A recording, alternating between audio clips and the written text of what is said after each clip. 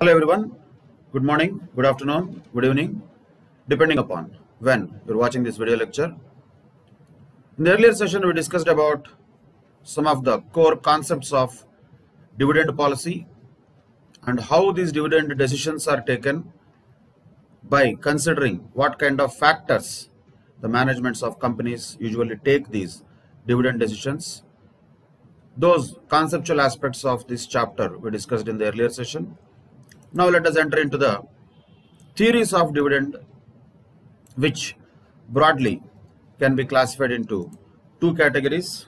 One is dividend irrelevance theories which says naturally that dividend is irrelevant. And there is only one such theory that is MM hypothesis.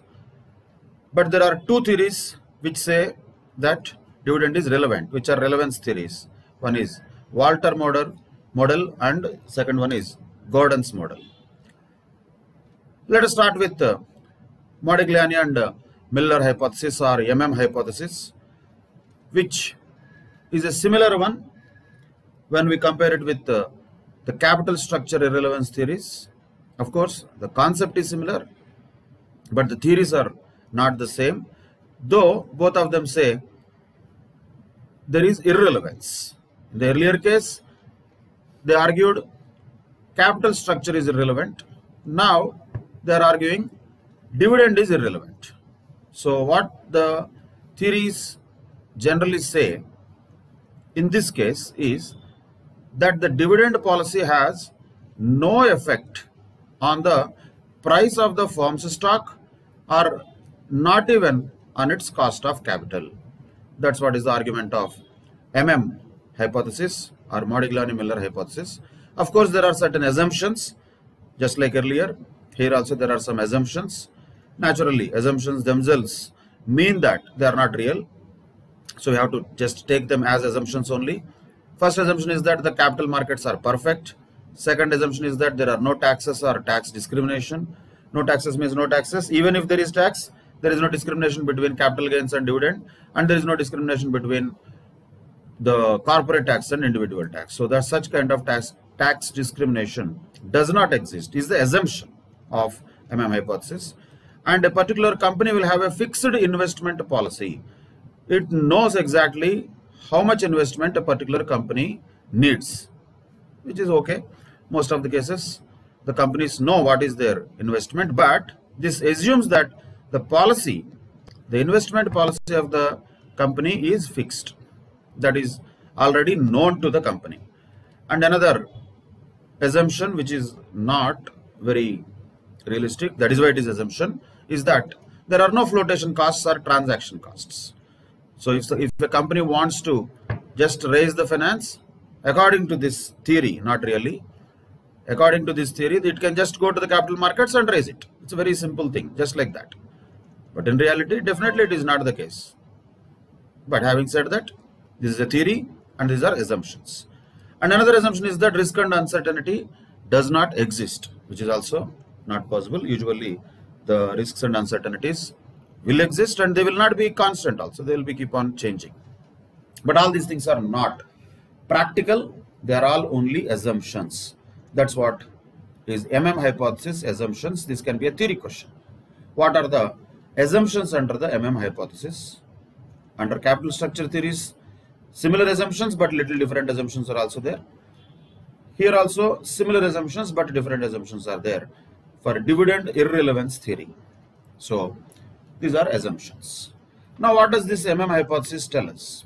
Simply the essence of MM hypothesis is this that this which says that the market value of the equity shares of a firm depends on its earning power, definitely not on its dividends. It is depending upon the earnings power of the organization, how much it earns, that will impact the value of the firm. Market value of the firm is value of the firm, that itself is wealth of the shareholders, we know that. So here, the market value or the wealth of the shareholders is not influenced by the manner in which the earnings are, earnings are split between dividends and retained earnings. So the dividend policy is all about what? It is all about how much percentage of the earnings to be retained, how much percentage of the earnings should be distributed as dividend. That is dividend policy. So according to Modigliani Miller, that dividend policy has no impact at all on the market value of the equity shares, which is also the wealth of the equity shareholders. So they argue dividend policy is irrelevant. How is that? Let us prove it. And the market value of equity shares is not affected by the size of the dividend also, what they say that. So how they have the argument earlier in the case of capital structure theories, they argued the same thing like arbitrage argument. Imagine if uh, a particular firm has debt and another firm is not having debt, as we discussed earlier, one is a levered firm, the other one is an unlevered firm, or one is a geared firm, or other one is an ungeared firm, whatever the names we use. The people, the investors use homemade debt. They will use personal leverage to get their advantage. And ultimately both the levered firm and unlevered firm will have same value. That's what capital structure irrelevance theory told us. Using the process of arbitrage. Logic wise even the dividend irrelevance theory also tells the same thing. Of course it tells the dividend policy is irrelevant and also it uses the arbitrage argument here they argued that the people the investors will make some homemade dividends. How they do that? By selling the value of the share, by selling the share which has a higher value and by buying the share which has lower value. And usually for those people who say that dividends are relevant, what they say, the one which the company which pays dividend will have a higher market price. That's what people normally say. Modigliani Miller say that that is not possible. Why? Because if there is any particular company which gives a dividend because of that if it has a higher price just because of that and if there is another company which also has mostly the same type of earning but just because it is not giving a dividend if the value of the share in the market is low any rational investor what they will do they will sell the share with the higher price and they will buy the share with lower price so till what time they will do this process till the prices of both the shares in the market are reaching equilibrium. This process is called as arbitrage process. Same logic they apply here also for dividend irrelevance theory. But of course, here there are little detailed application oriented formulae for this MM hypothesis which are quite popular and many a time given in the examinations. So what do they say is the present price of the equity share definitely is depending upon P1 and D1 which is discounted at KE. So normally if you observe this, there is nothing new that MM are telling here. What is the present value of any asset? That is the value. For example, we take only one year in this case here. When you are taking only one year, in this case, numerator is having what? Numerator is having what the benefits the shareholder will get in the next year. What he will get? He will get a dividend let us say that is d1 in the next year. And uh, imagining that not really that he will do imagining that he will sell this share at the end of next year that is p1 which is the price of the share at the end of next year. Not this year next year or we can say the end of the period p naught is the price of the share at the beginning of the period now so p naught is nothing but discounted value of discounting at what rate KE, that is the cost of equity. Naturally, that is called rate of capitalization, discount rate, cost of equity, whatever we call it. That is the discounting that is happening. Since it is one year, here 1 plus KE to the power of 1, which is ultimately nothing but 1 plus KE. So 1 plus KE is the denominator, which is nothing but just simply discounting. Discounting what? Discounting the cash flow that the shareholder might receive in the next year. What cash flows he might receive? One, dividend. Second, the price at which he can sell this share in the market next year. If you discount that, you will get the present market price of the share. That is a formula. Of course, these are all related with each other. We have to understand. We cannot say we know already how much is the dividend in the next year. We cannot say we know already how much will be the price of the share next year. Now, practically, these are all not possible. We should not jump to the practical conclusions. Again and again, we have to keep in mind these are theories these are just formulae based on many assumptions. But concept is correct. Concept definitely works. But whether these things are known in real life, Who will give these numbers to us is always a bigger question. Nobody can answer that. Uh, but as far as our situation is concerned, we don't have any issue. Why? Because these details will be given in the question. All that you need to do a great job is substitute them in the formula and get the answer. Whichever information is given, substitute. One of them will come out as an answer. So when there is a formula, here P naught is there, P1, D1, KE. There are four variables in this formula. Definitely the information related to three variables has to be given and you need to find out the other one. Whichever is that one depends upon the question. But the formula or the relationship is definitely clearly given by MM that is P naught equal to P1 plus D1 divided by 1 plus KE. P naught is nothing but the current market price or price at the beginning of the period. P1 is the price of the equity share at the end of the period or you can say the next year. And D1 is the dividend at the end of the period that is related to next year. That is discounted with KE that is capitalization rate or cost of equity. That is a formula. First formula in MM hypothesis for dividend irrelevance theory definitely to be very well remembered. Now, after that, they came out with another formula, of course, which can be derived also from the same formula. You don't need derivations and all, though these are all given here. If interested, you can go through that. But simply, the logic of that, if you understand, that is enough. Now we want to know what is the market capitalization of the firm or value of the firm now. So what is value of the firm? That is a VF which is now. Now means beginning of the period. How to get that? P naught is the price, current market price per share now. N is number of shares already currently existing. That is in the beginning of the period. So how to get market capitalization? Very simple. You get market capitalization by multiplying the market price per share. Multiply with number of shares. That's all. But now it is. P naught is market price now. N is number of shares now. So current market capitalization is on the left hand side. How that can be calculated here is by taking the right hand side. What is that? N plus delta N. Here what is delta N is important. Delta N is the number of shares issued to raise the funds required. Then a question comes, how do we know the number of shares to be issued to raise the funds that required, which are required? That is where we have to come back to the assumption. The investment, i.e., the amount required for investment is known to the company already.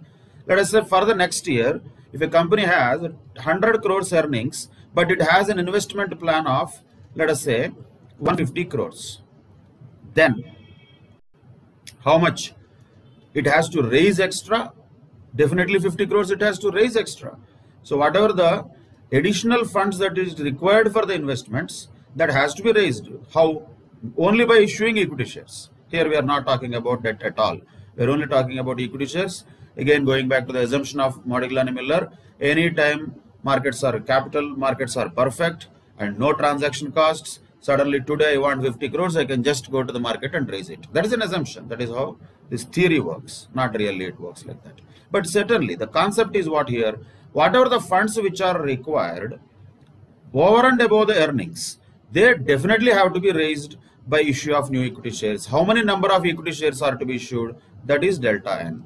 So if you want to know this n plus delta n, what is that n plus delta n? n plus delta n is the number of equity shares at the end of the period because n number of equity shares are already there in the beginning of the period delta n number of shares are issued during the period so n plus delta n is the number of shares at the end of the period or next year p1 is the price at the next year that we know already p1 is the price of the share at the end of the period. So if you multiply delta n plus n into p1 so what is this giving? N plus delta n is number of shares at the end of the period. Multiplying it with P1 what it will give? Same thing. Market capitalization but not now. Market capitalization at the end of the period. So that is first thing. Then there is minus I plus E. Plus E is plus earnings which are coming into the organization so definitely plus minus I means cash flows investment going out of the organization so plus E minus I will give the better sequence that's okay formula wise both are same minus I plus E so what is the present market capitalization of any company? The value of the firm is what? The market capitalization at the end of the period divided by 1 plus KE. If you want to separate it, this is one thing. Definitely yes. But not only that. Not only that. There is earnings which is which is going to come the next year towards the organization, into the organization, but there is going to be investment also. Investment also, right? If there is investment also, E minus I is going to be the net cash flow. This could be positive also, negative also. If earnings is more than investment, this will be positive. If investment is more than earnings, this is negative. But whatever it is, that divided by 1 plus K is nothing but the discounted value of those cash flows that will come to the organization or go out of the organization. Both of them, if you add, you get the market capitalization of the organization now. So this is an extension of the original formula only when P naught is equal to D1 plus P1 divided by 1 plus KE.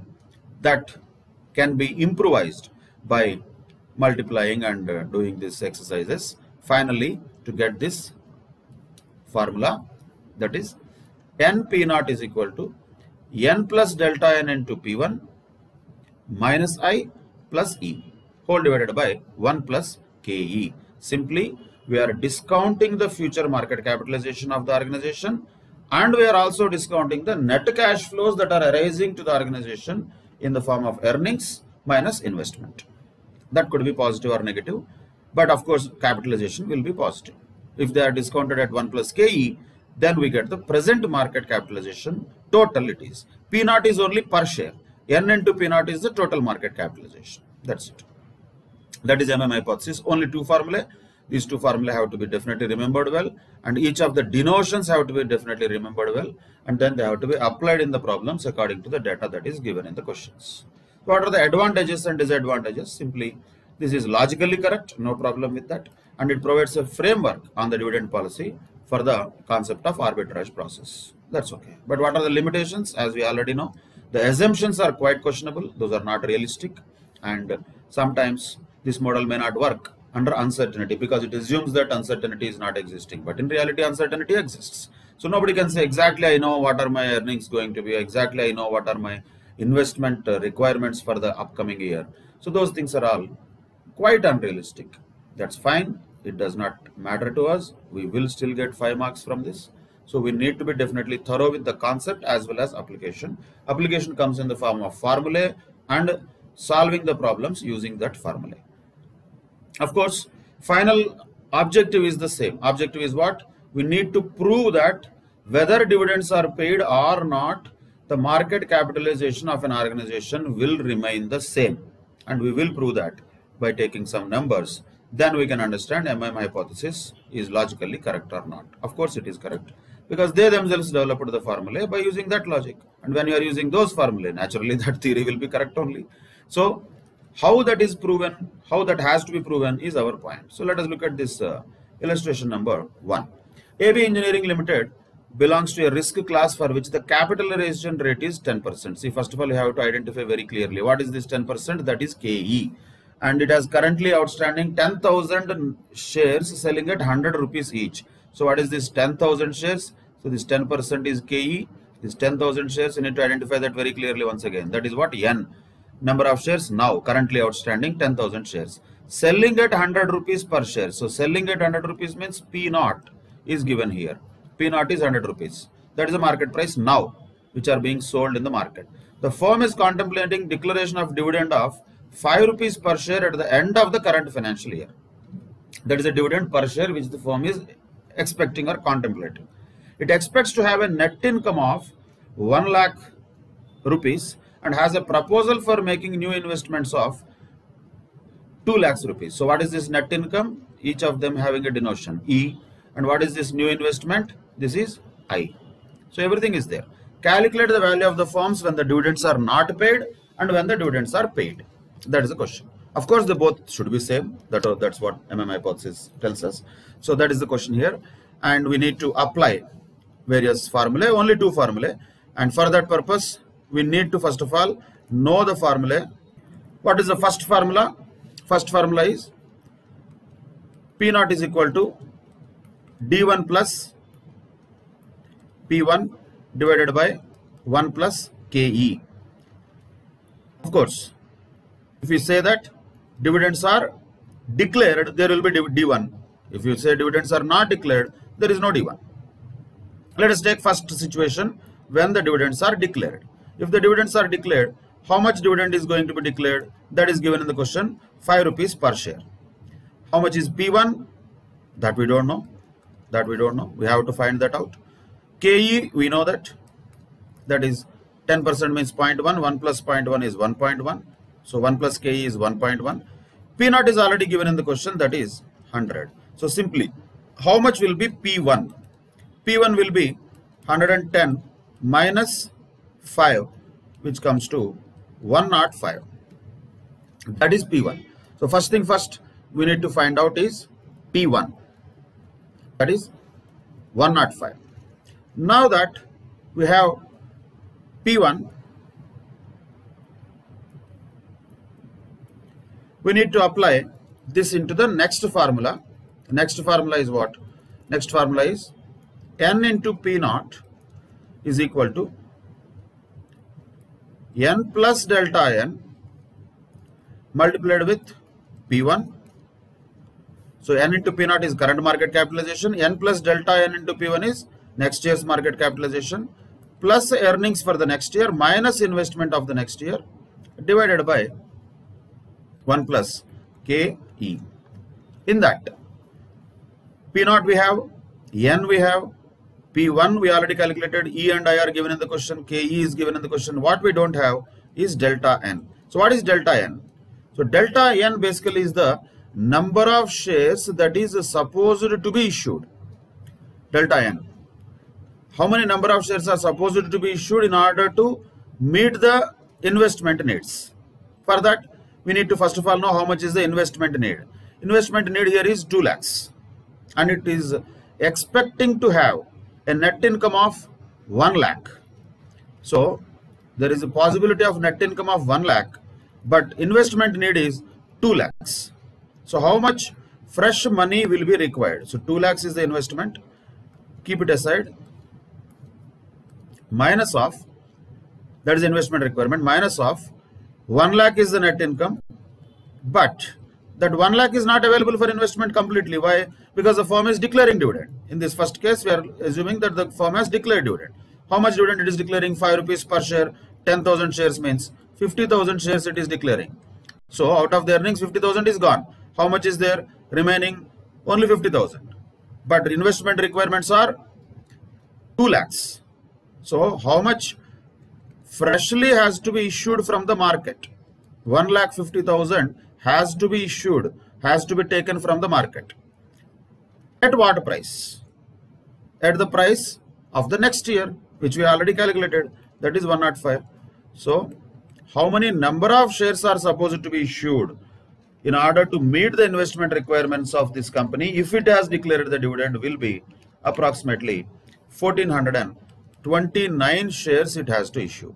That is delta N. Now that we have delta N, we can substitute this in the formula and identify what is the current market capitalization, which we already know actually, we are just proving it. N is 10,000 plus delta N, just now we calculated that is going to be approximately 1429 shares P1 we know already we calculated that is 105 plus earnings are 2 lakhs sorry sorry earnings are 1 lakh correct investment is 2 lakhs earnings are 1 lakh only investment is 2 lakhs whole divided by 1.1. So what is this amount here? 10,000 plus 1429. Those many number of shares are going to be there at the end of next year into 105. Plus 1 lakh minus 2 lakhs whole divided by 1.1 approximately it is going to be 10 lakhs rupees of course it will be around 10 lakhs 40 rupees that doesn't matter the final things are only because of decimals so 10 lakhs rupees is the current market capitalization. Is it not correct? Yes. Because 10,000 is N, 100 rupees is the current market price. So naturally 10 lakhs rupees is the current market capitalization. That is same here as proven by MM hypothesis that keeping an earnings estimate and an investment requirement, how many new number of shares have to be issued, that will be different. P1 will be different and the market capitalization is 10 lakhs currently if the dividend is declared Now the question comes, well, what if the dividend is not declared? Again, we have to do everything once again. What if the dividend is not declared?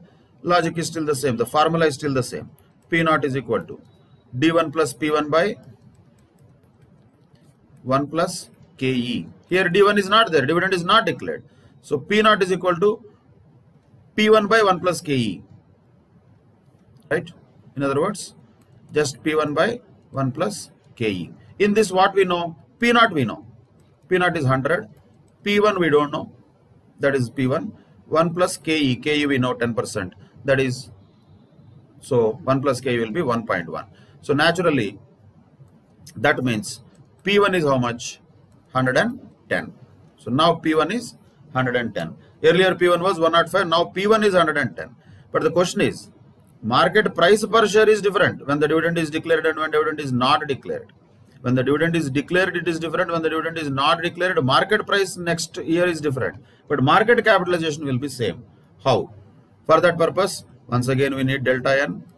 What is delta n? Number of shares to be issued. How do we know that? Sir, we need 2 lakhs rupees worth of investment. We have that. Minus earnings are 1 lakh. Here there is no dividend. So minus 0 only. So 2 lakhs minus 1 lakh divided by P110. So how many number of shares are supposed to issued here? 2 lakhs minus 1 lakh. You need 1 lakh rupees freshly to be raised through issue of equity shares at a price of 110. Which means how many number of equity shares? Approximately once again will be 909 equity shares are supposed to be issued in order to meet the investment requirements. Now that we know delta n, we can just uh, apply that in the formula. np naught is equal to n plus delta n multiplied with p1 plus earnings minus investment divided by 1 plus KE. N 10,000, delta N 909. So let us say 10,909 multiplied with P1 in this case is 110 plus earnings is no earnings is 1 lakh. Investment is 2 lakhs. Right? Divided by 1.1. How much will that be? Again, check that.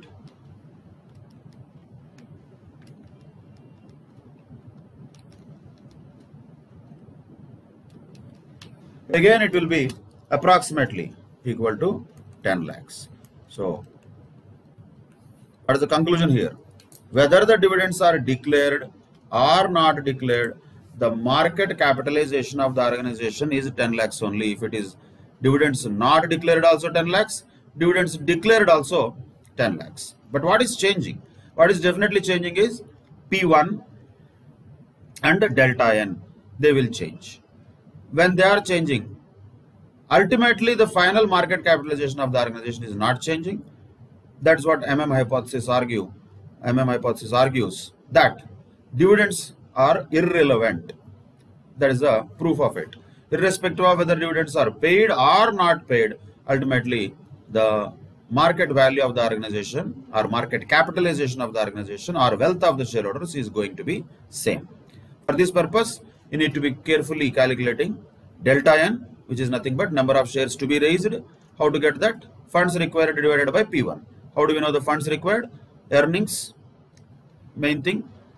If, if the requirement of investment is something, from that if you deduct earnings, further there is a requirement of investment. If you de deduct dividend, if at all paid, then you get remaining funds to be raised from the market. If dividend is not there, simply investment requirement minus earnings is the funds to be raised from the market. If that is there, we can find out delta n. That can be substituted in the formula.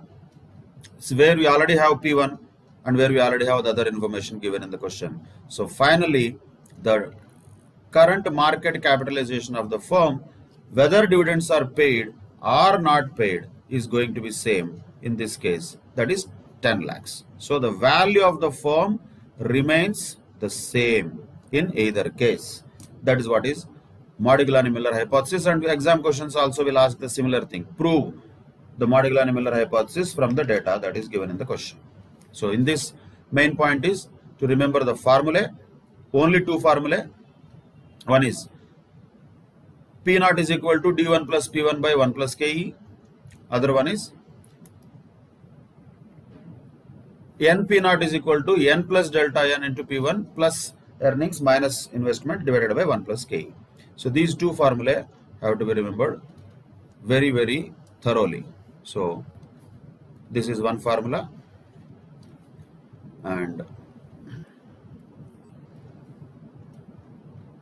this is another formula. These two formulae have to be remembered and every information will be given in the question and if it is not given that means we have to find it by using the formula and substituting those details in the formula. That's all. That's what MM hypothesis is all about. Then let us move on. Other models which say that dividends are relevant. One of them is Walters model which says dividends are relevant. So the price of the equity share depends upon the dividend policy of the organization is the argument of Walter.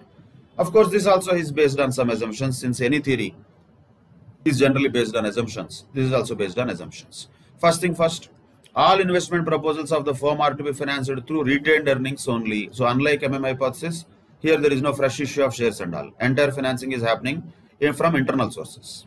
And R, which is the required rate of return, or IRR we can call it, KE, cost of capital, both are constant. Perfect capital markets, no taxes, same, more or less similar assumptions, no flotation costs, and the firm has perpetual life. Of course, this has to be always the assumption. Nobody assumes that the firm is not a going concern. It is a going concern. It will have a perpetual life. Is the um, kind of assumption that we take. So when you have something perpetual, if you want to value something, what you will do? Divided by market capitalization is the valuation model for anything which is perpetual. So in this case, company is perpetual, so the discounting should happen divided by KE. That's all. So the formula here is the market price of the share currently will be equal to dividend plus R by KE into E minus D. What are these? Each of these denotions we should definitely remember and know them. D is dividend per share. E is earnings per share. P is the current market price per share. All of them we know. Nothing special. DPS, EPS, MPS. That's all. Here we are calling EDP. So this is dividend per share. This is earnings per share. This is market price per share. Then KE we know that is cost of equity, market capitalization rate or capitalization or discount rate like that. So KE is the discount rate. R is internal rate of return or return on investment which the firm can generate on its investments. So normally what is average return that a firm generally able to make on its investments is R. Once you have them, you can find out the market price of the equity share by using this formula. So here, if you observe, this entire numerator is discounted with KE. That itself indicates it is a perpetuity. But the point here also is D is already there. So if you separate it, let us take like this. D by KE plus E minus D. What is E minus D? That is retained earnings, right? Retained earnings. Earnings per share minus dividend per share is retained earnings per share. So that into R divided by KE. So that is also discounted here. So point here is R divided by KE is the crucial factor. This whole divided by KE is anyway there. What is R divided by KE? If R is greater than KE, then this numerator will give a better better thing. This is going to be a greater than 1 scenario, which gives a better valuation. If R is less than KE, then it is not a good thing because it will reduce the value. D by KE is constant, which is there. So this plus is going to be plus or minus. Is it going to be increasing it or decreasing? That depends upon R and KE. If R is greater than KE, numerator is more than denominator. That means it is more than 1, which means it is enhancing the retained earnings. If not, it is not enhancing the retained earnings, it is actually eating up the retained earnings. So that is not good. So what the Walter argues is the dividend policy of the organization will be two things only. Either full dividend or nil dividend. That's it. There is no medium way. Either you declare fully or you don't at all declare the dividend. Simply when you will declare dividend fully? When you are not in a position to get a better return than KE then better to declare full dividend. On the other side, if uh, the firm is able to get better return than KE, then don't declare any dividend, then D will be zero. So, R and KE's relationship is what definitely going to be ha having a main factor or contribution to the market price of the share. Of course, dividend per share also will have its own contribution. So if you split it into two parts, one part is dividend per share, the second part is R by KE. This is the one which is going to have influence on the market price of the share according to Walter. So what are the two types of situations where uh, the dividend is fully declared or not at all declared? So those are one, when the company is a growing company, R is going to be greater than KE. That means the company can get better return than KE. That means optimum dividend, dividend payout ratio in that case is zero. Means how much dividend has to be declared? Nothing. Nothing has to be declared. So here the correlation between the size of the dividend and market price is negative. That means when a company is not supposed to declare dividend, but if it is declaring, then when it declares the dividend, market price will go down. People don't like it. So for a growth company, what is the optimum payout ratio is 0. Of course, if R is equal to KE, then there is no correlation between dividend and the market price and any payout ratio is optimum. There is no problem. So in this, this is not a situation where some decision has to be greatly taken. Anything can be taken when if R is equal to KE, which is practically very not so possible. But what if the R is less than KE? In other words, the company's internal rate of return is less than KE better to declare entire amount as dividends. The company does not have very good investment opportunities. Its investment opportunities are giving a return less than KE. So what is the point of investing them? Better not to invest. Then what should what to do with the earnings that are made by the company? Declare dividend. 100% payout ratio. In this case, the correlation between the dividend and market price will be positive. Why? Because a company which is in decline or a, we can call it as a mature company generally decline is a very again bad word. So for a mature company if it has a, so much of maturity and if it has so much of cash flow sufficient then even if it declares 100% of its earnings also people don't mind it. They will like it. So the market price of the share of such companies will go up. So ultimately there are two types of situations though r equal to ke is a rare scenario. Two types of situations where r is greater than ke R is less than KE. If R is greater than KE, then zero payout. If R is less than KE, then 100% payout. That's the Walters model. So one way we can call it full or nil type of model. All or nothing. Either you declare everything as dividend, entire earnings you, do, you give it to shareholders, or you don't give even one paisa also to the shareholders. All or nothing is the model of Walter. What are the advantages? It is simple to understand and it has uh, different possible market prices for dividend, different dividend payout ratios are there depending upon various factors like internal rate of return or return on investment and the market capitalization rate and dividend payout ratio. These are the three factors majorly which will have an impact on the market value of the shares which Walter says which is correct also. So limitations are that first thing first it does not consider all the factors affecting the dividend policy. There are so many things and uh, determination of the capitalization rate KE is practically difficult. That's anyway practical issue. And it ignores the factors like taxation at all and other legal and contractual things. Those things are all ignored.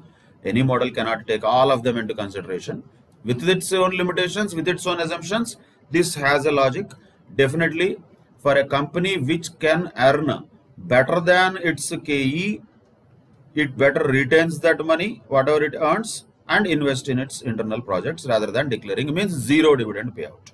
On the other side, for a company which earns less than the KE, where it is not able to earn that much as KE, then better not to keep it. Why to keep it?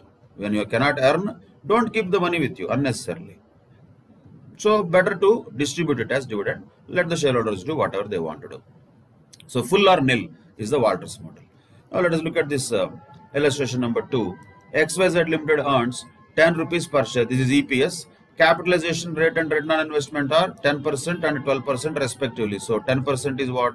This is KE and return on investment or internal rate of return, whatever it is given, that is R. which the company can earn on its investments. Determine the optimum dividend payout ratio and the price of the share at that payout. First thing first, here R is greater than KE. First that we have to identify. When R is greater than KE, is it better to pay out or better to retain? Better to retain. Why? Because the company is able to get better return than KE. So why to give dividend? So what is optimum payout ratio? Zero. Zero percent is the optimum payout ratio means no payout. So that means DPS is how much? DPS is zero. Then substitute. How much will be the price here? DPS zero plus R by KE. R is how much? 12%. Always calculations you do in decimals. 0.12 divided by KE is 0.1 into earnings minus dividend. Again, D is 0. so only earnings will be there, which is 10 rupees given in the question divided by KE we already know. That is 0.1. So 0.12 divided by 0.1 into 10 divided by 0.1. 120 rupees is the price of the share if the company follows the optimum payout ratio of 0%. That is the question. What if, what if the payout ratio is different, just for understanding purposes. If payout ratio is 25%, then how the market price will be? Let us check that. If payout ratio is 25%, dividend per share will be how much? 2.5 plus again the same thing R by K or KE into E minus D 10 minus 2.5 7.5 divided by 0.1 do the calculations. So 0.12 divided by 0.1 into 7.5 plus 2.5 divided by 0.1 the market price is only 115 not 120 definitely it is less than 120 why? Because this is not an optimum payout ratio. 25% is not an optimum payout ratio anything other than 0 is not an optimum payout ratio. So 25% gave a lesser market price. If you do the same thing again do this one practically for understanding. If at all 50% payout is made market price will further go down. If 75% payout is made market price will further go down. And if 100% payout is there market price is going to be 100 only. So if an organization pays out exactly the optimum payout ratio then only sorry. Then only the market price will be higher which is 120 if the organization pays anything other than optimum the market price will be lower. And latter if the payout ratio is much much higher market price is going much much lower. Why is that? Because this is not a good thing that the management is doing if it has R greater than KE, it should not declare anything as dividend. If it declares dividends, that is not a good thing. When it is not a good thing, the market prices will go down. As the dividends increase, market prices will go down. That's what we looked at in the table, the first first situation. When R is greater than KE, what is the correlation between the size of the dividend and market price of the share?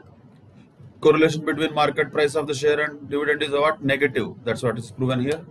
When increase of dividend is happening, market price is continuously decreasing because it is not an optimum payout according to Walter. then coming to illustration number 3. The following figures are collected from the annual report of XYZ Limited.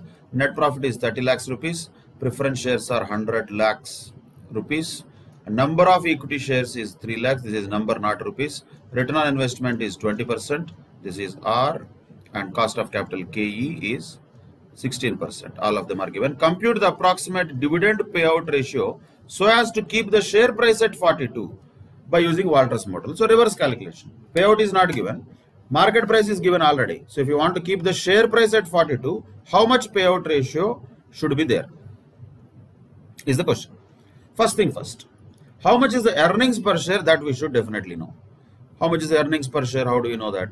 First of all, 30 lakhs rupees is the net profit. That is not profit available to equity shareholders. That is net profit only.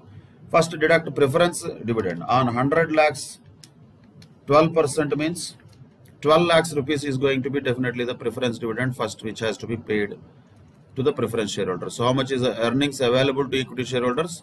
Only 18 lakhs divided by 18 lakhs divided by number of shares equity shares is 3 lakhs. So 18 lakhs divided by 3 lakhs. So EPS is definitely 6 rupees per share. So EPS 18 lakhs divided by 3 lakhs. 6 rupees per share is EPS. First thing first that we have to find out. So you have E that is 6 rupees. D how much? That we should find out. We don't know that. But what is the relationship here as, as given by Walter is P is equal to D plus R by KE into E minus D whole divided by KE. Substitute that. How much is P? That is given in the question 42. Current market. Keep the share price at 42 he said. So 42 is equal to D we don't know. R we know. R is 20% means 0.2 divided by 0.16 that is KE right into E we know 6 D we don't know once again whole divided by KE is once again 0.16 just you need to solve this. 42 into 0.16 42 into 0.16 first of all 6.72 that is equal to d plus hmm, 0.2 divided by 0.16 0.2 divided by 0.16 is 1.25 into 6 minus d. Whole divided by sorry this already is done. That's it. So that is equal to 6.72 is equal to d plus hmm, 1.25 into 6 7.5 minus 1.25 d. So take this uh, minus 1.25 d and d. Minus 0.25 d take it to the other side. So 0.25 d is equal to 7.5 minus 6.72 that comes to 0.78 that means how much is d? 0.78 divided by 0.25 that is 3.12 rupees. So how much is the payout ratio is the question. 3.12 rupees divided by 6 is the payout ratio. That means payout ratio is 52 percent. 3.12 divided by 6 why? Payout is nothing but dividend per share divided by earnings per share. Dividend per share we found out now. That is 3.12 earnings per share we already know. So what is the payout ratio here? 52 percent. And that is naturally going to be the final answer. That is the payout ratio. Reverse calculation. Once the price is given we are finding out payout ratio. For that we need to find out d. Once you find out d payout ratio can be found out. So these type of questions were asked in the examination earlier. Go to question illustration number 3 that is applying the walters model. Now moving on to another model that is gordon's model. This is also a relevance theory. Dividend is relevant it says but of course it has its own assumptions. Firm is all all equity firm that means no debt. Irr remains constant ke remains constant retention ratio remains constant growth rate remains constant. All of them are known. Constant means all of them are known. And basically ke is greater than g because expectation is more than the growth rate. This ke is greater than g. G is the growth rate. So uh, ke of the cost of equity is always more than the growth rate is another assumption. And all the investments are financed through retained earnings only. These are the assumptions only course theory questions can very well be asked from that. So many things are there. All equity firm irr constant ke constant retention ratio is constant b is constant that means growth rate g is equal to br we know already that is constant and ke is greater than g. And entire financing is going to happen through retained earnings only. Then if that is the case how the Gordon's formula is going to be applied for calculating the current market price per share which is P naught is equal to E1. E1 means earnings per share not now for the upcoming period into 1 minus B. Understand this carefully. What is B? B is retention ratio. 1 minus retention ratio is payout ratio.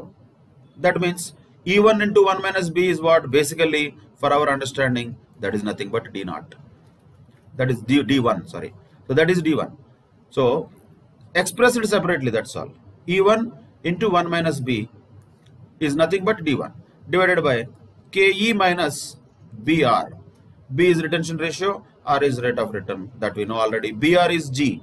That also we know. So if you observe and remember the formula that we already know there is nothing new here. In the chapter of cost of capital capital structure we had the Gordon's formula. Same formula is coming here again. Just expression is different. The formula is exactly same. What is P naught? D1 or D naught plus D naught into 1 plus growth rate right that is also D1 same thing. D naught into 1 plus growth rate divided by KE minus G isn't it?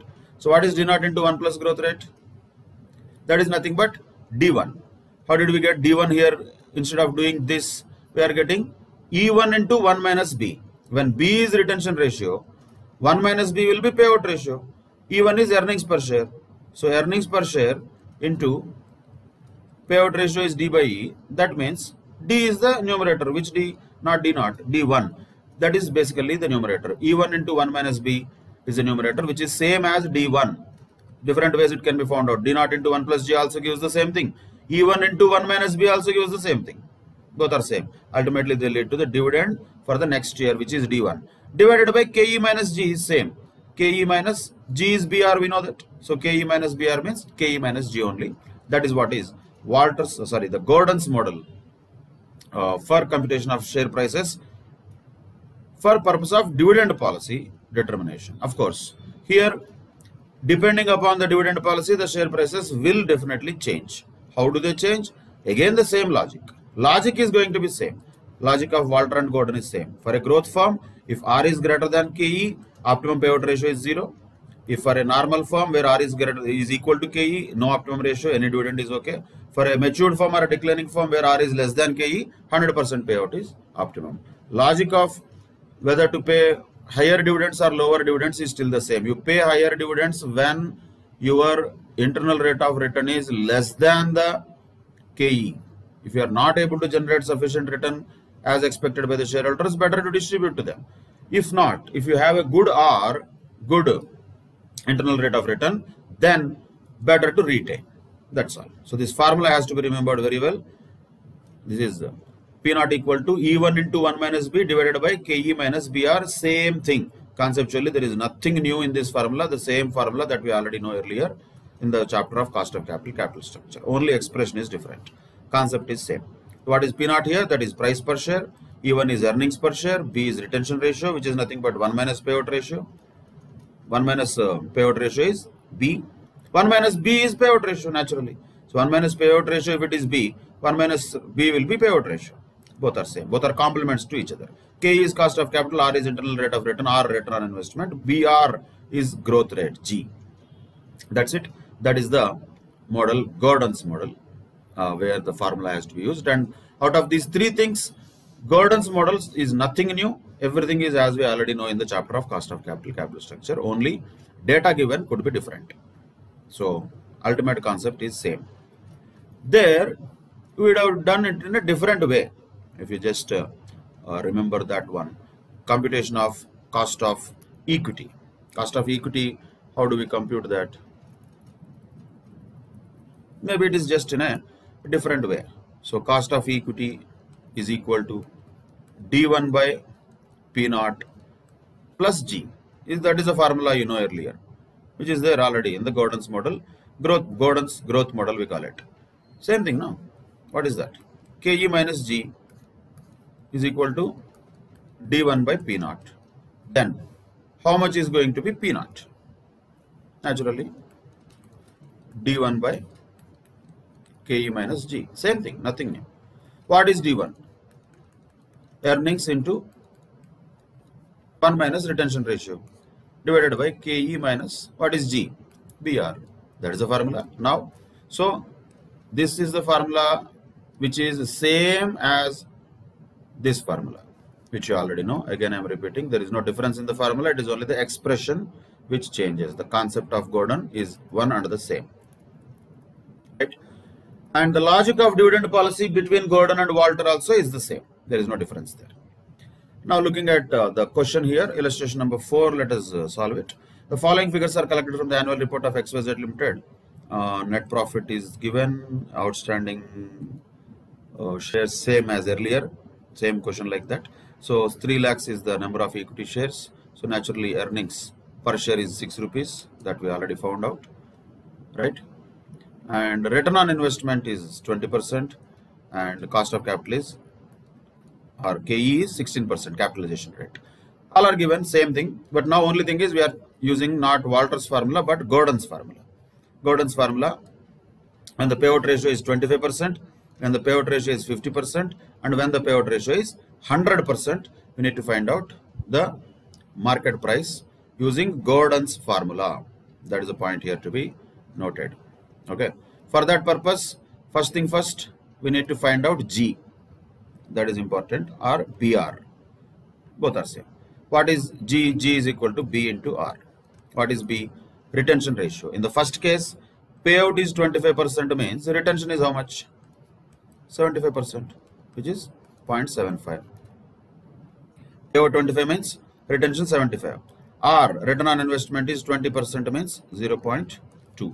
So 0.2 into 0.75 means 0.15 or 15% is the growth rate. Okay, let us keep it like that because anyway we have to substitute in the formula. So what is the formula here? P naught is equal to E1 into 1 minus retention rate divided by KE minus BR. Substitute. Earnings how much? We know that. That is 6 rupees. Here, B how much? Payout is 25%. That itself is 1 minus B, right? 1 minus B is payout. So, don't need to do again double calculation. Simply 0.25. In other words, D1. What is D1 now? 6 into 25%. So, 6 into 25% itself is D1. That is 1.5. Fine, whatever it is. 6 into 0.25 divided by KE is given in the question. KE is how much? 0.16. Minus BR is 0.15. So 6 into 0.25, 1.5 divided by 0.01. That is price of the share, market price of the share when the dividend payout ratio is 25% will be equal to 150 rupees. That is the first scenario. What if the payout ratio is 50%? Of course, it will change. It will change. Now, substitution will be 6 is same. Payout ratio is 1 minus B. That itself is payout ratio. So, 0 0.5 divided by KE is 0.16. But now, G will change or BR will change. Let us substitute here itself. B is how much here? 0.5. R is 0.2. Right? Yeah. So 6 into 0.5 that is 3 naturally divided by 0.5 into 0.2 that is 0.1 0.16 minus 0.1 is 0.06 so 3 divided by 0.06 that comes to 50 rupees correct. So when the dividend payout ratio is more the market price has gone down. Once again why? Why? Because this firm is earning a better return. For this firm this company return on investment is higher than the cost of equity. So better thing is to retain not to distribute. But okay let us say that if it has distributed 25 percent that's okay. Market price was 150 if it has further distributed and if its payout ratio is 50 percent market price will go down. Market price is negatively correlated with the dividend payout. If the firm's return on investment is more than the cost of equity. What if the dividend payout ratio is 100 percent? Then definitely further the market price will go down. But how much? Once again 100 percent payout means entire earnings is distributed as dividend 0.16 minus here BR is how much? Retained 0 retained 0 means B into R will be also 0 so 6 divided by 0.16 directly that will be equal to 37.5 rupees. That is the market price if the 100% payout is followed by the company which is not good which is not a valid or optimum payout ratio even according to Gordon also. That is proven here in illustration number 4 that's it. That is one more model. And uh, later the same thing is little bit revised and called as bird in hand theory. It can be a theory question uh, where there has there are two arguments. One thing is investors are risk averse and investors put a premium on certain return and a discount on uncertain return. So what is the new thing here? Nothing new. This is the same formula that we know. P naught is equal to d naught into 1 plus g which will give basically d1 divided by ke minus g. Nothing new. Formula wise it is all the same. So depending upon the information you have to use the formula. And this also we discussed earlier the intrinsic value of any asset has to be found out by taking the present value of the future cash flows whether it is bond valuation whether it is a stock valuation stock means share any of them will be calculated like that only. So it is called as a dividend discount model. Couple of questions we already did in the capital structure cost of capital chapter. Same thing is explained here once again. Basically discounting the future cash flows that are arising from this particular share. What will be the future cash flows? Dividends. First year dividend second year dividend like that dividends are all taken. Then final sellable value or value of the share at the end of nth period will be taken that will be discounted also. So total stock's intrinsic value will be that much. That is called dividend discount model. In this also there are different models where zero growth and constant growth and variable growth are there. Again all of them are already discussed in the cost of capital capital structure chapter. Zero growth means directly p naught is equal to d by ke annual dividend divided by required rate of return. No growth is involved in that. Directly d by ke so for example if there is a company which is uh, no growth company paying a dividend of 5 rupees per share cost of capital is 10 percent. Directly how to get that? Whatever the dividend divided by ke that will be 50 rupees. Simple. That is no growth model. Constant growth model is what we already have seen earlier also the same thing where d naught into 1 plus g divided by ke minus g how to get g b into r nothing new look at this uh, illustration number 6 xyz is a company having a share capital of 10 lakhs rupees of 10 rupees each it distributed current year uh, 20 percent dividend of 20 percent per annum current uh, that is current not future d naught that is annual growth rate of dividend is expected to be 2%. Expected return on equity on the equity capital is 15%. Compute the price applying the Gordon's growth model. Simple. D naught how much? 20% of 10 rupees is 2 rupees, right? That is D naught. Multiply with 1 plus growth rate. Growth rate expected at 2%. So 1.02 D naught into 1 plus growth rate divided by KE minus G. KE how much? 15%.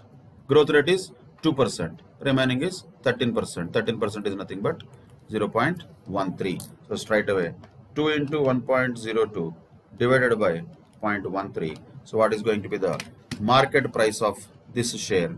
That is 15.69 rupees. That's the same thing. So depending upon the data given in the question, we have to use the formula. If there is no growth, straight away d by p naught d by p uh, sorry d by ke so for ke we need, we got d by p naught now it is reverse p naught is equal to d by ke earlier we wanted to calculate ke what was the formula? There it was d by p naught. That was the formula gordon's model. Same no both are same just cross multiplication. Earlier same way. Earlier as we discussed just now earlier when we wanted ke how did we get that? We got it by taking d1 by P naught plus G. Now it is just reverse. Now P naught is equal to D1 by KE minus G. Then what is D1? D1 is nothing but D naught into 1 plus G divided by KE minus G. That is P naught. What is new here? Nothing new. Same formula earlier used, now also used in the same way. but only point is cross multiplication and expression are different. So D naught into 1 plus G divided by KE minus G is the price of the share to be calculated by using the Gordon's model. Like that if the uh, variable growth rates are there, when variable growth rates are there, then the calculation will be different. So let us say how the variable growth rates will have impact on the market price. A firm had paid a dividend of 2 rupees per share last year. Estimated growth rates is 5% normally. Determine the estimated market price uh, of the equity share if the estimated growth rate of dividends rises to 8% and falls to 3%. Also find out present market price of the share given that required return on equity is 15%. See here there is variable growth and all is not happening. Double discounting or also is not happening. Only thing is usually when there is a change in the growth rate straight away the market price what is the impact of that is there in the question. Of course the concept of variable growth rate is not that. The concept of growth rate here usually is different which we did already in the capital structure cost of capital uh, chapter there will be three different rates of growth usually initially there will be higher rate of growth. After that there will be slower growth and after that there will be a steady rate of growth. So according to that growth we will discount the dividends. D1 d2 d3 like that we will discount the dividends. And the constant growth once it reaches there we will find out the market value of the share by taking perpetuity formula. That will be let us say if you want to know the what is the market price of the share in the sixth year what you will take is dividend for seventh year divided by KE directly like that you will take market price and that will be discounted also by taking 1 plus KE to the power of n. So this is the double discount model or triple discount model. Those things generally will not be given at intermediate level. But if given, at least two different growth rates are possible. But this question is not that. This question is only just changing the growth rates and it wants to check the impact of that on the price. So when growth rate changes, naturally the market price changes. First case, what is the growth rate? Uh, growth rate is 5% uh, normally. So how to calculate P here? Original dividend is 2 rupees. 1 plus growth rate now is, since growth rate is 5%, 1.05 divided by KE minus G. KE is 15%, growth rate is 5% means 10% will be the denominator which means 0.1. So straight away 2 into 1.05 divided by 0.1 that comes to 21 rupees. That is the first scenario when the growth rate is 5%. Now the question is only simply what if the growth rate rises to 8%? Growth rate rises means naturally the price also will rise. That's a good thing, right? Good thing will increase the price. How? Apply that once again. 2 into 1.08 divided by 15 minus 8 15 minus 8 is 7%. That means 0 0.07. So 2 into 1.08 divided by 0.07. That comes to 30.86. 30.86. That is a price if the growth rate is more than 5%. What if the growth rate is 3%? When the growth rate is 3%, then market price will go down. Again, same 2 into 1.03 divided by 15 minus 3 is 12 percent 12 percent means 0.12 so 2 into 1.03 divided by 0.12 that falls down to around 17.17 or 17.17 that is going to be the market price if the growth rate is only 3 percent. That is about Gordon's model Gordon's growth model which have three different possible situations. One is no growth one is constant growth and one is variable growth. These are the various aspects of Gordon's model. And of course there are some advantages and limitations naturally. Of course here this is a dividend discount model very good one. It's a futuristic model and it will have particularly discounting the future cash flows is the best thing. Present value of future cash flows is the way any valuation of any asset happens. So that is the same thing that Gordon also uses which is good. And this uh, Gordon's model is easy to understand also. That is a advantage. Limitations is that it is all depending upon the projections which is about future which is not easy to calculate. They are very difficult to calculate accurately because we are all estimating them only not realities. And the true intrinsic value of a stock is definitely difficult to determine realistically.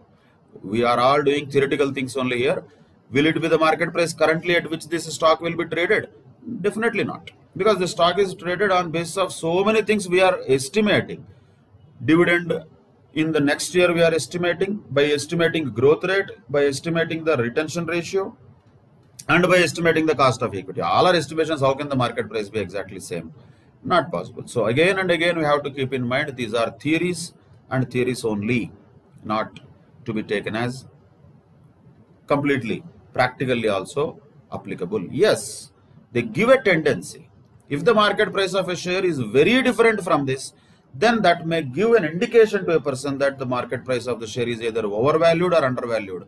That may be a model which can be used to compare the market prices, but definitely that does not mean exactly the market prices will be same. If the market prices can be found out by taking formulae, we don't need stock markets, right? What is the use of stock markets? So definitely this market price will not be the one which is traded in the stock market. But it, will it be giving an indication? Yes. Whether the stock market price is more than this or less than this or is around this, that gives an idea whether a stock is overvalued or undervalued. For that purpose only, all these models will be useful. Otherwise, uh, other for practical purposes, much usage of these models is not generally encouraged. Anyway, that will conclude the three major models of uh, dividend policy. One is the MM hypothesis and other one is uh, Walters model. These are the three models. MM hypothesis, which says irrelevant, uh, which is irrelevance theory, which says dividends are irrelevant. Second one is Walters model, and the third one is Gordon's model. Both of them will tell that dividends are relevant. And the formulae, this has two formulae, this has one formulae. This has actually one formula only that is expressed in multiple ways. Ultimately, the logic of Gordon is future cash flows arising from the equity share have to be discounted in order to get the price of the share. So, if it is uh, to be considered as separate things, then it has three further sub formulae when there is no growth, or when there is a constant growth, or when there is a variable growth. In that case, yes, we can say that it has three different formulae, but ultimately these are the formulae to be used according to the information given in the question. And these are the practical applicable formulae and theories. Now, looking at some of the less important, but since they are there in the syllabus, let us just go through them. Uh, some traditional models are also there. One of them is called Graham and Dodd model, uh, which says that P is equal to M into D plus E by 3. So D plus E by 3 D is dividend per share, E is earnings per share, M is the question. M is a multiplier. Who gives that to us? In exams, question gives that to us. In reality, nobody gives that to us. That is why Graham and Dodd model is utter flop model. So ultimately, this is not at all possible to get that multiplier, practically speaking. So it's not about practicality, it is about examination and formula. So here, price can be calculated by taking whatever that multiplier is, D plus E by 3. But one logic we can understand here, definitely the dividends are three times important than earnings. That's the logic Graham and Dodd say. And that means dividends are very relevant, very important for the market prices. Is The essence is correct, but M who will give is a big question mark. But for us, it's not a problem because it will be given in the question. Multiplier is 2, uh, earnings per share is 30, payout ratio is 60%. Find out the price as per Graham and Dodd model is the question. M is 2, okay, fine. D plus. D means how much? Dividend per share here 30 into 60% means 18 rupees plus E by 3. E is already known. E is 30 by 3. So 30 by 3 is 10. 10 plus 18 is 28. 28 into 2 is 56. That's it. That is the market price according to Graham Dodd model. This is a formula to be remembered. If at all as a bit question, if it is given separately, maybe some different uh, models can be asked, right? Same question can ask Walters model also, Gordon's model also. Also, if it asks Graham Dodd model, you should not lose that one mark. So, remember that formula also. Other than that, more than one mark, it will not give us anything. Now, same thing in a different way it is asked. Market price is given, dividend per share is given, multiplier is given. According to the Graham and Dodd approach, find out the EPS is saying. Formula, if you substitute, you will get the answer. So 58.33 is the market price that is known already. That is equal to M, which is 7, multiplied with definitely D, which is known. D is 5 plus E by 3. So First of all, 5 plus e by 3 is equal to how much? 58.33 divided by 7, right? That will be equal to 8 point, let us say 33. Then e by 3 is how much? 8.33 minus 5, that will be 3.33. Then e will be how much? 3.33 into 3, approximately 9.99, which means 10, let us say. So earnings per share is going to be 10. What is the payout ratio if the question asks? 50% because dividend per share is 5 rupees. So earnings per share is approximately 10 rupees. That is called Graham and Dodd model. That is one more model, but it is called one of the traditional models. Then there is another model called Lintner's model. So Lintner's model is also a traditional model. Once again, the problem with this is there will be an adjustment factor which nobody gives to us in reality. So how to get this Lintner's model? It does not give any particular price of the share. It only tells that D1 next year how much dividend to be declared it depends upon last year's dividend. So what does it say? D1 is equal to D0 plus EPS into target payout minus D0 into adjustment factor. So what is this adjustment factor? That has to be given in the question. That is to be adjusted for the speed or whatever. So point here is formula D naught plus EPS into target payout will also give us target payout means dividend only. But that dividend minus D naught has to be multiplied with adjustment factor. So this has to be added to the last year's dividend. Then the D1 will come. How to apply this? Let us take the example illustration number 10. Given the last year's dividend is 9.8 which means D naught plus speed of adjustment is 45% that is adjustment factor we'll come to that target payout ratio is 60% EPS for current year is 20% so anyway first of all you have to take D naught take it aside. Then EPS into target payout ratio. EPS is 20 target payout ratio is 60% EPS into target payout ratio is 60% of 20 that will come to around 12 minus D naught which is 9.8. This has to be multiplied with 45%. The second one is completely different. First one is completely different. So 9.8 is something which is already there. Plus in addition to that 12 minus 9.8 into 45% has to be added to that. That means how much should be the dividend now? 10.79 rupees. So 12 minus 9.8 into 45% is how much? 0.99. That means 0.99 rupees of dividend has to be paid over and above the last year's dividend. Totally, the next year's dividend is supposed to be 10.79. So here adjustment factor is a very arbitrary number. It does not give any market price. Unlike all other model models, this model does not give market price. It only tells how much could be the dividend next year, keeping the last year's dividend in mind. So which is again completely arbitrary in nature because of the adjustment factor which is also there in this formula. These are the various models. Again, important models are three.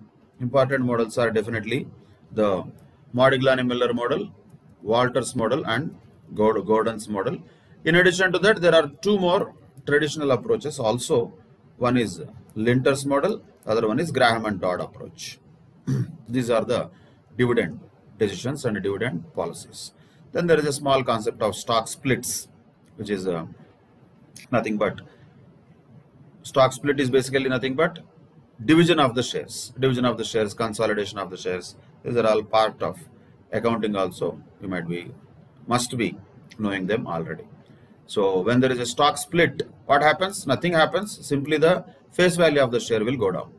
Nothing else. So 10 rupees share is split into, let us say, two shares of 5 rupees each. That's a stock split. Reverse split means consolidation of shares. So consolidation and subdivision of shares is what in financial management language called as reverse split and split. So that is about dividend policies and some other concepts related to dividends. Now, let us look at some of the illustrations which are given at the end of the study material. Let us quickly go through them. Illustration number 11. illustration number 11 RST Limited has a capital of 10 lakhs rupees in equity shares of 100 rupees each. So when it has 10 lakhs rupees in 100 rupees each means how many number of shares are there first of all 10,000 shares are there that is N. The shares are currently quoted at par. So current market price is 100 rupees only. So that is P naught at par. P naught is 100 rupees. Company proposes to declare a dividend of 10 rupees per share at the end of the current financial year. That is proposed dividend. The capitalization rate for the risk class of which the company belongs to is 12%. That means it is KE. Compute the market price of the share at the current year, end of the current year, if the dividend is not declared or if the dividend is declared. And assuming that the company pays dividend and has a net profits of 5 lakhs rupees and makes new investments of 10 lakhs rupees during the period, how many new shares must be issued? Use MM model. See, for any MM model, we need these two details also. So the third one is also part of the original information. New investments are 10 lakhs, net profits are 5 lakhs. So according to that, when the dividends are not declared and when the dividends are declared, what will be the market price of the shares has to be found out using MM hypothesis. That is illustration number 11. For that purpose, let us first take when the dividends are declared when the dividends are declared. What is the formula? Formula we should remember P naught is equal to D1 plus P1 divided by 1 plus KE. But how much is P naught? 100. D1 how much? It proposes to give a dividend of 10 rupees per share. So 10 rupees plus P1 we don't know divided by uh, 1 plus KE is 1.12 because 12% is the cost of equity. So 1.12 into 100 minus 10 that means how much is going to be P1 102. When the dividends are declared the P1 is going to be 102. After that what we should find out is delta N. How do we know delta N? How many number of new shares are supposed to be issued? Simple. Investment is supposed to be how much? 10 lakhs minus of how much are the profits?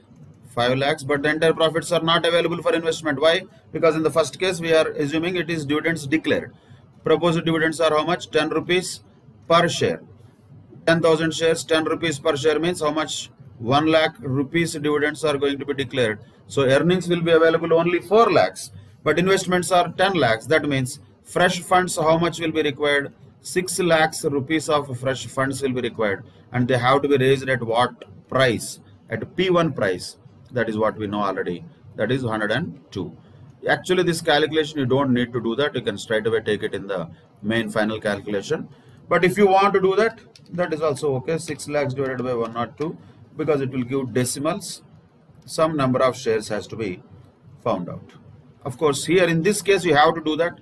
Why? Because company pays dividend and has this all these things how many number of new shares must be issued is also part of the question. That is 5882 number of new shares are supposed to be issued. What is this? This is delta n. Once you have delta n you substitute that in the formula. Np naught is equal to n plus delta n multiplied with p1 plus earnings minus investment divided by 1 plus ke that is the situation. Now what is asked here. Compute the market price of the share at the end of the year if the dividends are declared and dividends are not declared. See, actually these things are all not asked. Just for proving the Modigliani Miller, we are checking that. If the dividends are declared, what is the market price? 1 or 2. We already got that. Answer is for first question, 1 or 2. Right? Answer for second question will be different. But just to check that, is it matching that you have to check.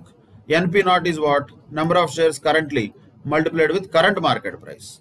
So market price is at par. So that should be equal to 10 lakhs. Let us see whether it is correct or not. So 10,000 number of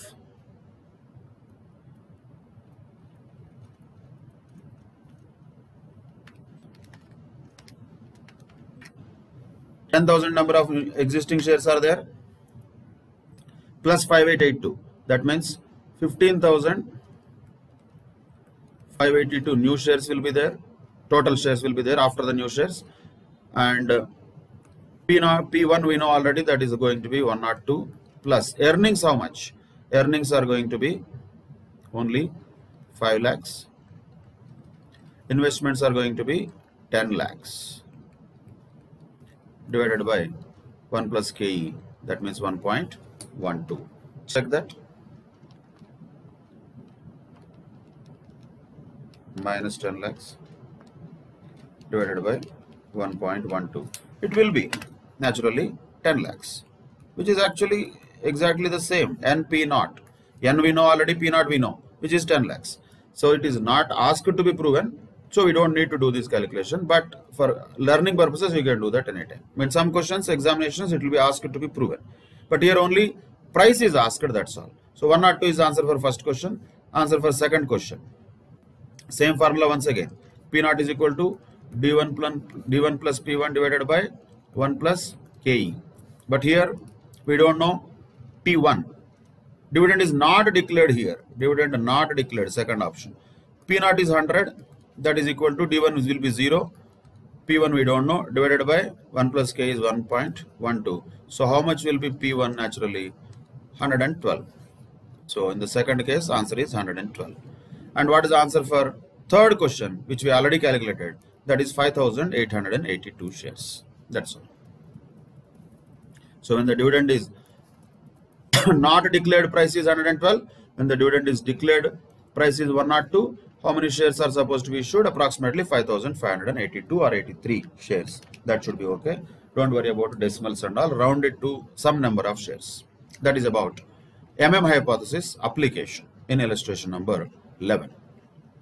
Similar to that, illustration number 12 is also there, but this is not MM hypothesis. It is Walters model.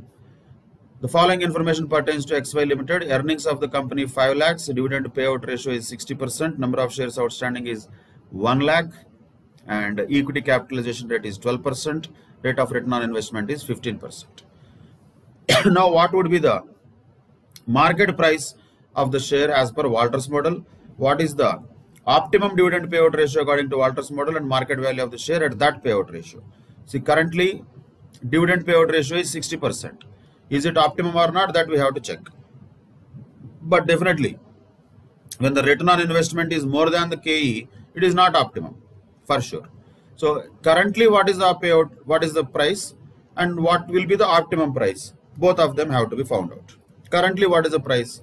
That for that purpose, again, you need to know the formula and apply various things into that formula. So in the Walters model, what is the price?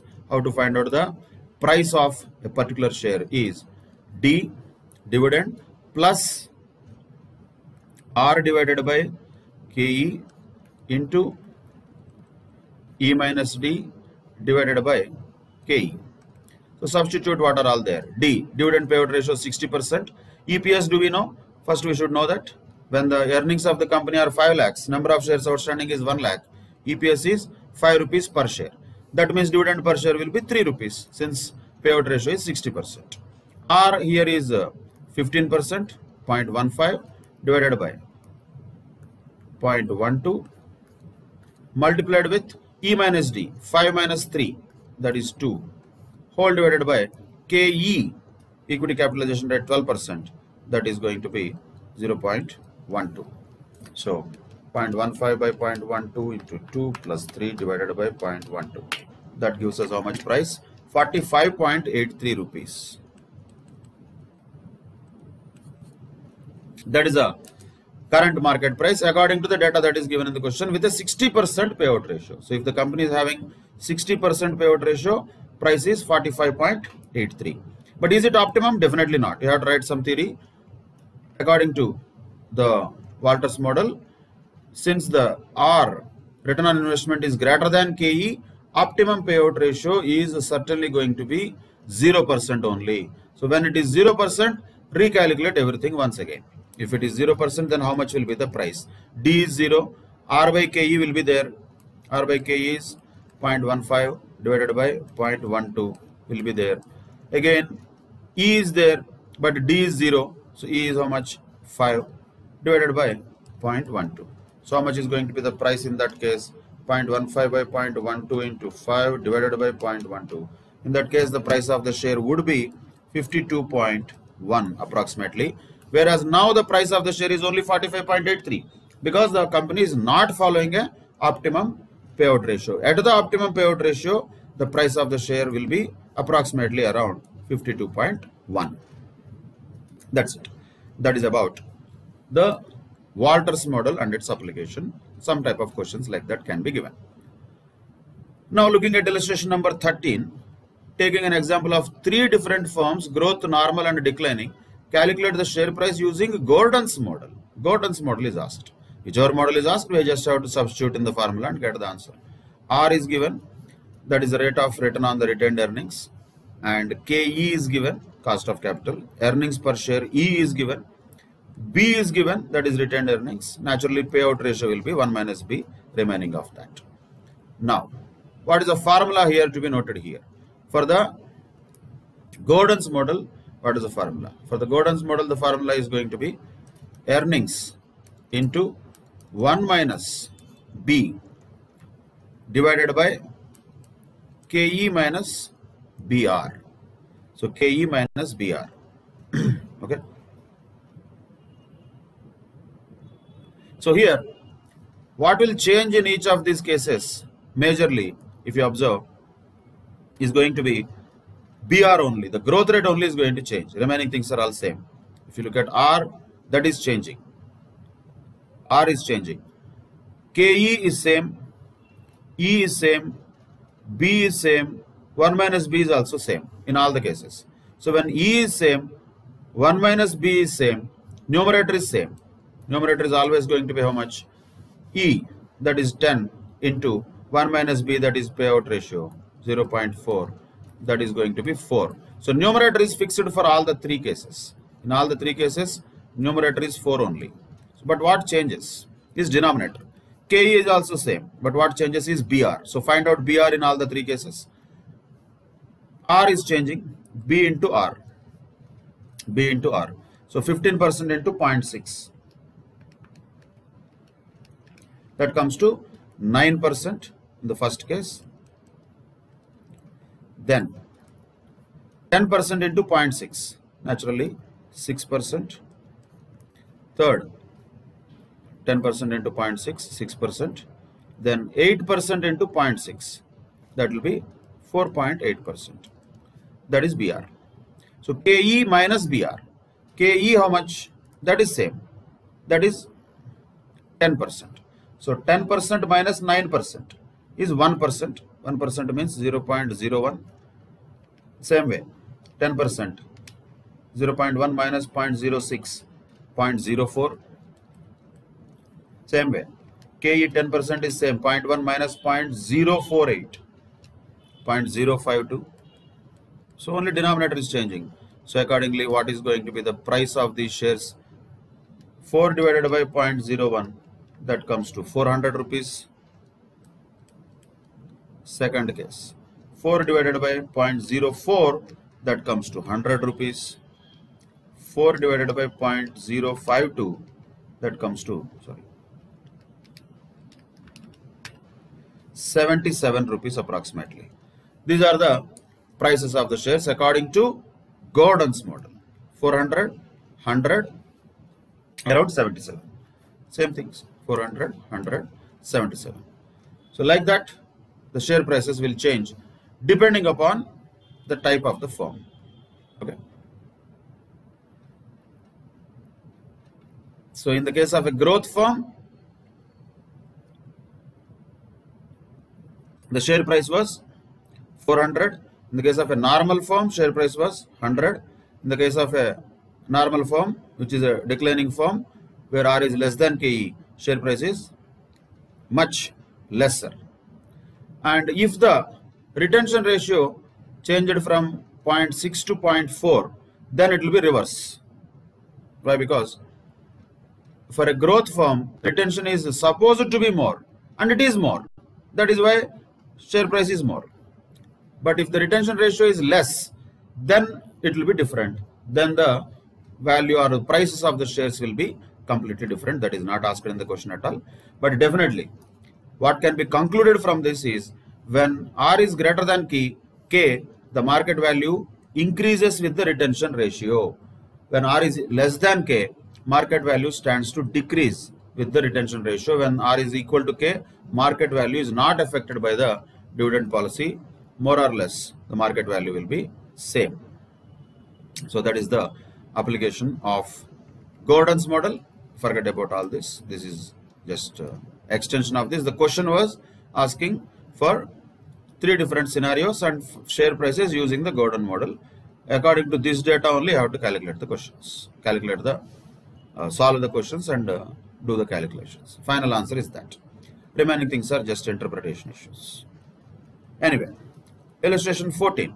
The following information is given in the case of Aditya Limited. EPS is 60 rupees, capitalization rate is 15%, uh, return on investment is 25%, dividend payout ratio is 30%, and what is the price using Walters model, and uh, what would be the optimum payout ratio as per the Gordon's model. See, both are asked here. So in this case, Gordon's model and Walters model both are asked. Fine, whatever it is, substitute in the formula and get the answer. So in case of Walters model, using this formula, you can find out the market price. All information is given. How much is D? Payout ratio is 30%. 30% of 60 rupees is naturally 18 rupees plus R by KE. R is how much? 0.25. 25% we can say. K is KE is 0.15 into E minus D, nothing but retention. E minus D, 60 minus 18. So that means 60 into 70% also you can take, which is nothing but 42. How much amount is retained per share? Divided by KE. KE is already known, 0.15. So just do the calculation and get the answer. 0.25 divided by 0.15 into 42 plus 18 divided by 0.15. 587 rupees approximately 587 or 586.67 is the price of the share according to the Walters model. According to the Walters model. And the second question says what will be the optimum payout ratio according to Gordon's model? See optimum payout ratio according to Walter or Gordon is same. That is not different. When the return on investment is 25 percent whereas capitalization rate is only 15% which is much higher than the capitalization rate the optimum payout ratio is zero. Better not to distribute anything. Don't distribute anything so optimum payout ratio is zero. And according to that